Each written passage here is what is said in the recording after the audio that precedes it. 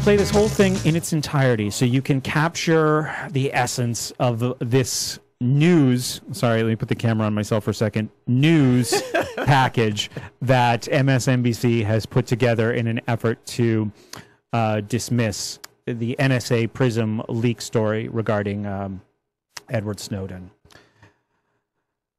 Here we go. Okay, let me get this straight.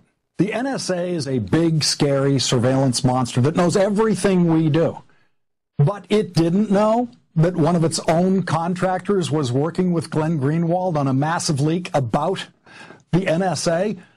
Tonight, I'll ask Glenn Greenwald if his own experience is actually evidence that the NSA isn't really so scary. So, this is his this is his big opening, right? Mr. Prosecuting Attorney. And, Right. and I love how he puts in this supposition that they know everything. Yeah. That's his that's his little straw man. That they know everything. Right. So, so he does kind of a long lead in here with a series of media clips, and then he'll bring Greenwald in and answer that question. So we'll let it play for a couple minutes. I'm no different from anybody else. I'm just another guy. Opposition to the government's sweeping surveillance program now has a public face. 29 year old Edward Snowden revealed himself. 29 year old Edward Snowden. He leaked information about the government's surveillance program. He's a 29 year old former technical assistant for the CIA. Then he goes over to work for this contractor for the NSA. He landed this Oh, job. and just so you understand, like the tone of this show, Larry, Larry O'Donnell gets the last word on everything. So he shows here's what everybody else has had to say, which is why he has these montages of media clips. Then I'll let That, you know. that also pepper you with information that he has selected about this guy. 29 year old janitor, you know. yeah. Here's what everybody who doesn't know about this has had to say already. Over $200,000. Are his motives pure? I have no idea. He says he did it because the public needs to know what's going on. Big breaking news today. I certainly wasn't uh, shocked by it. Big breaking news about something we've known for like seven years. Is this guy a criminal or is he a whistleblower? He's not a whistleblower. Do you think he has credibility as a whistleblower? You don't break the law, steal documents, and then make a run for the border. I can tell you this these programs are within the law. Aren't all the programs that have been revealed legal? The damage these revelations incur are huge. This is U.S. policy. You may disagree with it. I'm no different from anybody else. I'm just another guy. The law was broken by one person who was Mr. Snowden. Snowden's treatment may rest on public perception.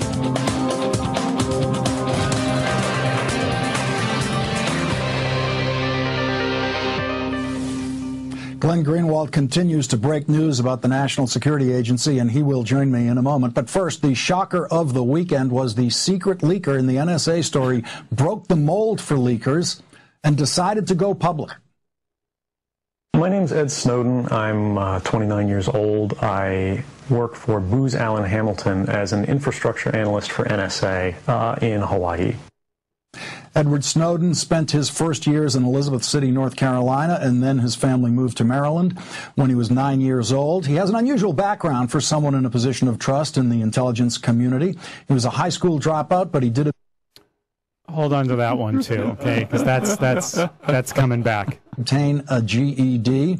He spent less than a year in the Army Reserves. Snowden says he was discharged after breaking his legs in a training accident. He first worked for the NSA as a security guard. He then got an information technology job with the CIA. According to The Guardian, Snowden worked at the NSA for the last four years as an employee of various outside contractors, including Dell and Booz Allen Hamilton, where he last made about $200,000 a year. This is the way Wait a minute. Edward Snowden Can we just go back? Now, uh, this is this is a trick that the media often uses, and, and I recommend that if you haven't seen it, people check out this School Sucks video, Media Manipulation on Gun Control, where we talk about some of the other aspects to a television presentation that are often absorbed but not always recognized. When the gun control debate was happening, uh, Piers Morgan and his production team, as these debates heated up, the on screen graphic would say something like 20 killed in Newtown. And then they would show footage that they had as they're having the debate about gun control of the police and rescue workers arriving on the scene at the elementary school. So without that's that's an incredibly powerful, uh, but at the same time subtle uh, juxtaposition of like here's a debate, right? Like.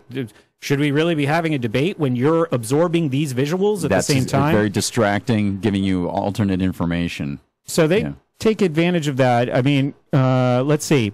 Uh, here they they put up a, a final bio on the screen of Edward Snowden. Number one, did not finish high school.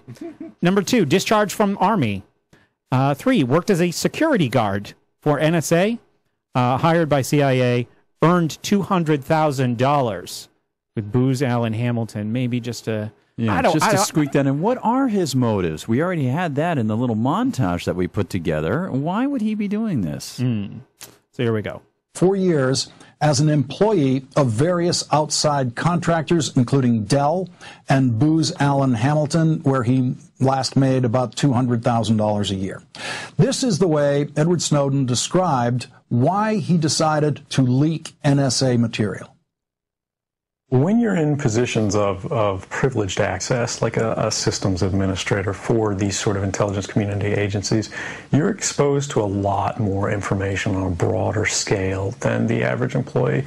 And because of that, you see things that uh, may be disturbing, but uh, over the course of a normal person's career, you'd only see one or two of these instances.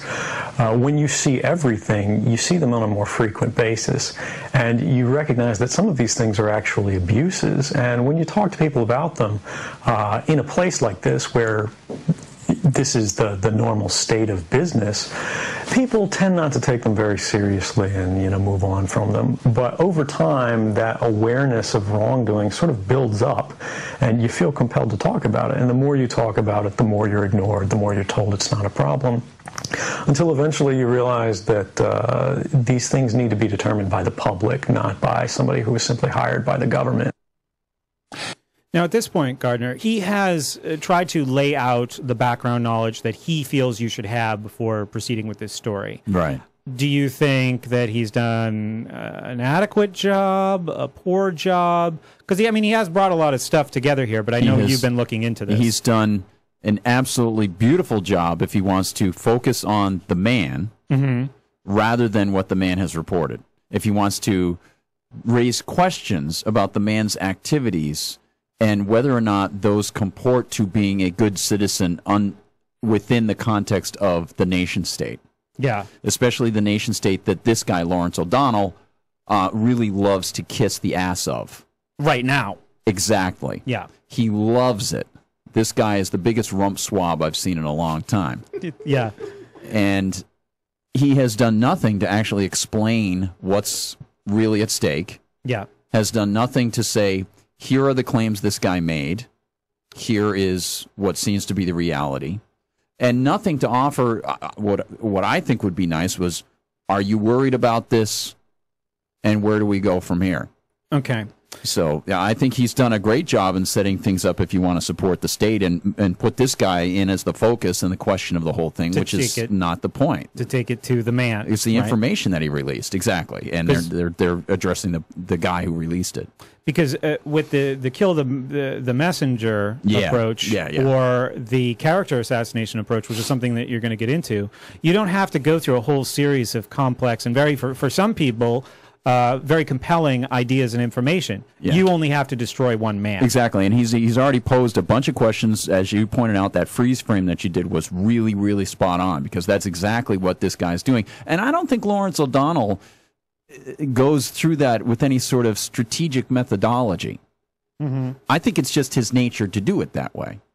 To say this guy, I don't like what this guy's done, so I'm going to go after this guy. Right So he's already his assumptions are already there. I don't know. I, I just think I don't think that he's doing it with any sort of you know intent. I just think it's his you know sort of sad way to stumble into the party already drunk. He's you know? he's from Southie, you know. Yeah. he's a brawler. Yeah, he's a he, brawler.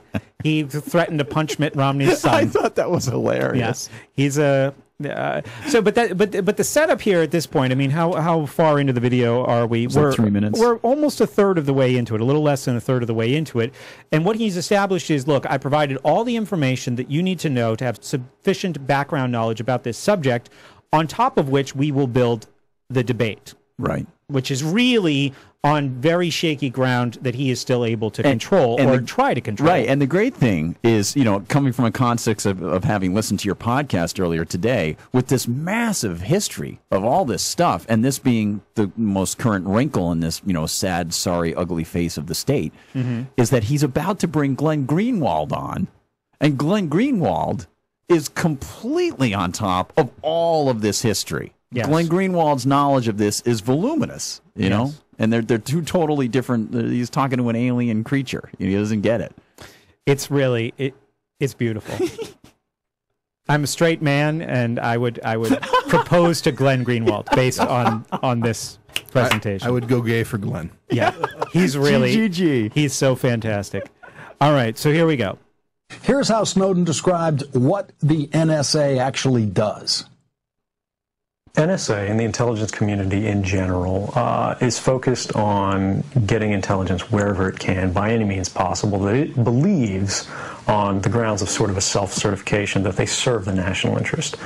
Uh, originally, we saw that uh, focus very narrowly tailored as foreign intelligence uh, gathered overseas. Now, increasingly, we see that it's happening domestically. And to do that, they, uh, the NSA specifically, targets the communications of everyone. It ingests them by default. It collects them in its system and it filters them and it analyzes them and it measures them and it stores them for periods of time simply because that's the easiest, most efficient, and most valuable way to achieve these ends. Joining me now from Hong Kong, the Guardian's Glenn Greenwald, who broke this story. Glenn, I I've been wondering as the stories developed that given that the NSA, uh, as, as you're portraying it, uh, knows everything, sees everything, how is it in, in that environment that you were able to communicate internationally over a period of time with someone working as a contractor for the NSA right under their noses? I mean, isn't, isn't what you've pulled off here, uh, this successful leak, evidence that the NSA really doesn't know everything that we are suggesting it knows. Gotcha, Glenn. I gotcha. Look at the look on his face. Oh, that's going to be What a smug, smug mug. I'm going to screenshot this video and put pictures in the show notes because that is like you look up smug in the dictionary. All right, so number one, this is this is this is the opening approach. Um, Laurie, Lawrence O'Donnell's first swing at this. The NSA isn't so scary, um, and he's trying to undermine the relevance of the whole story, as I said earlier. So he's certainly asking a loaded question. He's also committing the fallacy fallacy, Yeah. saying that basically the argument can be thrown out because Glenn Greenwald has committed this tragic, just devastating to his case fallacy that the NSA uh, knows everything. Um, personal incredulity, right? That's another kind of logical fallacy. uh, Perfectly. where he's, well, I could believe this, you yeah, know? yeah, yeah. Um, I think I mentioned before the either or or excluded middle fallacy, and uh, it's kind of uh also like uh, some pretty sloppy inductive reasoning. Are you familiar with Yes. uh, composition? Yeah. To say if absolutely you, you set he's seeing one example. Yes, Right. that's absolutely right. so you say if the NSA didn't know this, They then they they can't aren't doing know all the other stuff. everything. So kind of broadening it to the big picture. So if they don't know this one little thing, Right. they can't certainly know all these other things in the bigger picture. And inductive reasoning can be useful sometimes, but not useful for Larry O'Donnell. Right. So let's see if Glenn Greenwald runs away crying. Unfortunately, I, I wish that were true, Lawrence. Unfortunately, it isn't. Um, when he first contacted me um, back in February, the first thing that he insisted that I do was to install extremely sophisticated uh, encryption technology that would allow us to communicate via email and online chat.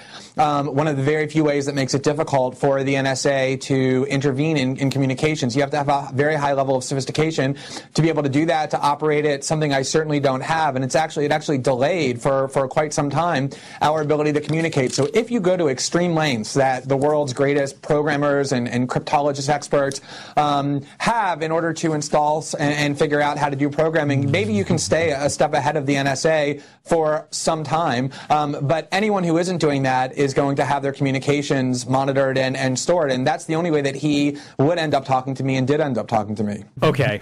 Okay, well. Let's try something different.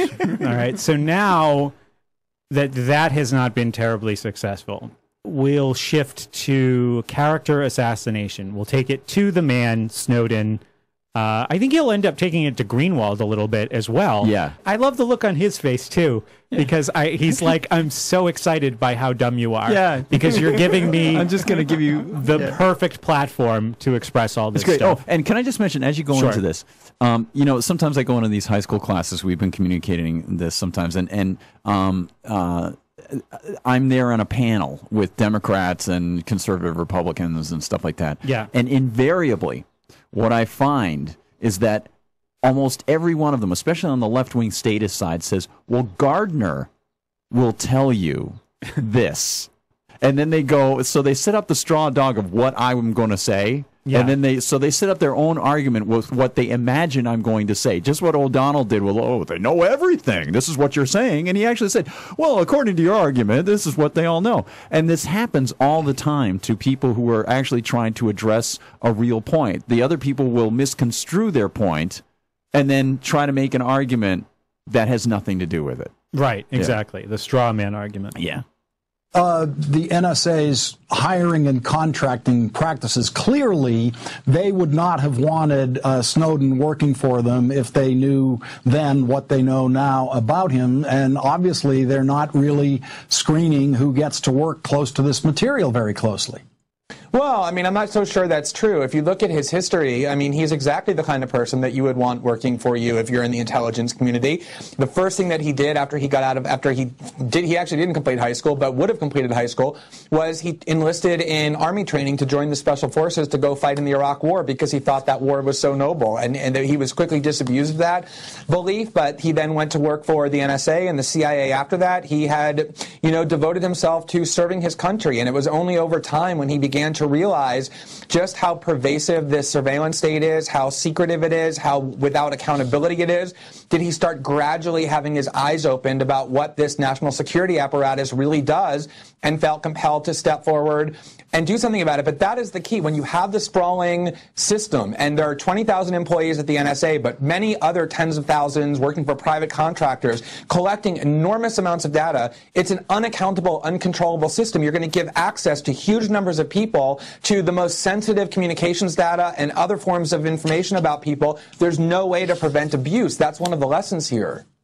And uh, he's uh, kind of low level. I mean, I'm reading what he told Watch you the about language. what he did there. That Every- he will he will continuously use this phrase. He's an IT guy, right? Yeah. He's low level, and uh, this is uh, uh, what do we call this? The genetic fallacy, Yeah. where something is unreliable. It's like saying He couldn't be capable. Oh, this was huge, by the way, during like World War One. Something is bad if it comes from Germany. Uh-huh. So let's call German toast French toast from from now on. uh, but the idea is like I don't want to buy something that was made in Japan. You ever Right. met a Japanese person? Right, like that's the right. genetic fallacy, Yes, essentially. That something is bad or defective because of where it comes from. So if we can drop this guy down, is- he can lower Snowden down enough to be able to commit this genetic fallacy that he he wasn't at a place where we could really think that any information that And- he has is worth got- listening to. Unfortunately, this is a joke that only the four of us can enjoy. But in this frame, uh, freeze frame, it appears that Glenn has actually become high off uh, Lawrence's stupidity, which is which is interesting. Uh, no, but this is this is an interesting thing. Like, have you ever talked to somebody in like real life who made so little sense that you find yourself like spacing out and almost becoming like dizzy from listening to them? Yeah. Every one of his titles, Glenn, is simply a technical. He's an IT guy. He says he's a systems engineer, then he was a systems administrator, uh, senior advisor for uh, solutions, uh, and a telecommunications information systems officer. But at the same time, at the same time as, as giving you a bio that's basically an IT guy, he claimed to have very powerful authority. Let's listen to what authority he claimed he had. I, sitting my desk, uh, certainly had the authorities to, to wiretap anyone from you or your accountant to a federal judge to even the president if I had a personal email. Now, Glenn, he does not mean, does he, that he had the legal authority to do that. He is simply saying. This is a clever setup. Okay. And again, we see the word legal mm. coming mm. into this. So, so pay close attention, folks. Don't get hypnotized by Larry here. Because I had IT access, I could get into anything I wanted to get into, much like, say, uh, people working in the IRS used to be able to just look at your tax return if they felt like it, even though they were not authorized to do it. The IRS has since controlled that. But he's not saying he in any way could legally, possibly, been given that authority by anyone at the NSA to look at President Obama's email. Precisely, Lawrence. I mean, but, and you're making the, the important point, and it's the point that he's making. It's the point that he wants everyone to understand, which is that which even though he is a relatively low level, not even an employee of the NSA, private contractor, he has been given, by, by authority, he means he's authorized to access these databases and th- these technologies, and that there are tens of thousands of people in the NSA who are not accountable, who are authorized to do the same. Everyone should go right now who's listening, go onto Google and email and Google 2008 ABC News NSA abuse, and you will find stories there about low-level NSA analysts who abuse these technologies to listen in on the conversations that soldiers were having with their girlfriends, that people they knew were having with one another internationally. It is a system that is begging for abuse because it's all in secrecy. We don't really know what it is that it's doing. But his point is that this apparatus is sucking up every communication, every telephone call, every email, so that at any time, any of these people at these terminals can go in and invade these conversations um, because it doesn't have sufficient oversight and it's ubiquitous, the surveillance that they're doing. But Glenn, I don't think we can attack a system's mission because someone working in that system, like Snowden, is willing to actually violate the rules of the system. For- Bingo. There oh, it is. Man, okay? there you go. So that's why that's what that setup the was all setup. about. And, right. and, Larry had to sit there and kind of squirm back and forth in his chair, waiting Until for Glenn actually, to finish with yes. the facts part, right? So he could get this this in, right? I don't really care. So what he what he's decided to do after Strike Two is just double down on character assassination. Yeah, yeah. Now, where now he's he's he's slid out uh, basically uh, the reality and inserted his own reality into Yeah. the situation where this guy is a rule breaker. He's the one. It's not the, the problem is him. right. It's not the system. so it didn't work. Uh, you know the the what what did he do before the low level stuff? I felt like there was. Uh, the the, high school dropout, you know, like that, that kind of thing. But then the low level stuff, and now it's like, I think he's, I think he's a, a rule breaking criminal. Right. The he was just this and just that. Right. This is very, very clever, and uh, I, think I, I, most of this must go completely unnoticed with his viewers, right? Because it is kind of subtle. You do have to be looking Well, for you, it, uh, you have to give him credit for trying or at least scrambling. right? For example, my bank. There are there, there are people working at my bank who can go and look at exactly what's going on in every one of my bank accounts whenever they feel like it because they just saw me on TV and they said, "I wonder how much money he has in checking." They can go do that. They're not supposed to. It doesn't mean that my bank is a bad bank because someone working there violates the rules. Uh, same There it is again. Thing with everything else that, that uh, private companies like Gmail, for example, anybody working at, at the uh, email facilities at Google, all these places, they can go look at the people's email who are writing those email if they want to, if they want to break the rules and do that.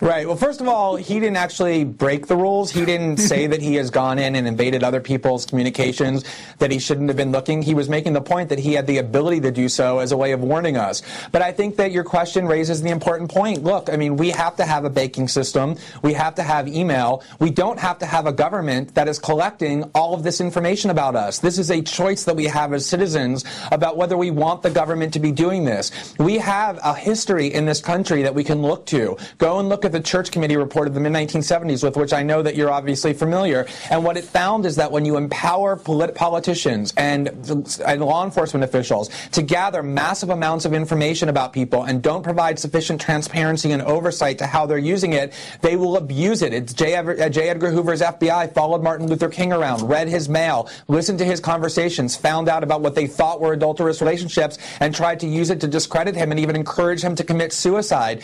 What he's trying to say is that we should be debating whether we want to have a government that is in the business of collecting huge amounts of extremely invasive information about not terrorists or people suspected of wrongdoing, but all Americans. And think about the potential for abuse that has, the inevitability of abuse that has. And even if you're right, Lawrence, at the end of the day that we decide we do want that, at the very least, we should have way more transparency and checks and accountability on how this is done and what is being done, which is the reason that we decided to write these stories so that we could start a debate and make Americans aware of what this apparatus is actually doing. Yeah, I mean, I you know, At this point, Yeah, yeah, yeah. I mean, number four is I give up. yeah. It, it really is very simply I give up, but Glenn, my, my feeling so far is in everything, and I've been slow to react to it because I want to take in as much as possible. But so far, I'm not scared. So far, I haven't heard a single thing about what the government has collected on me that isn't also collected by a bunch of private companies. And the fact that the government is collecting it at such a gigantic, massive level means that it's even harder for the government to find me in this giant amount of data that they have. And they have absolutely no incentive to find me. And so I, I, at this stage, feel completely unthreatened by this. I understand every point you're making on principle. I get the principle, and my reaction to it in the practice is I, I, I am at this point unthreatened by it. So I don't care. He doesn't care. I- I- exactly.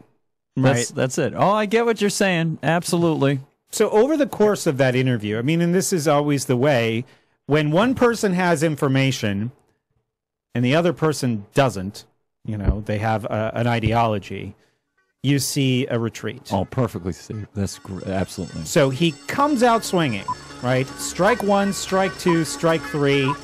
I'm taking my ball and going home.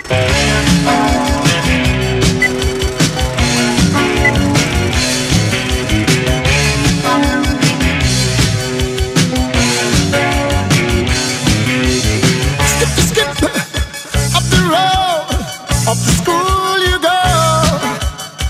Don't be a bad boy, Johnny.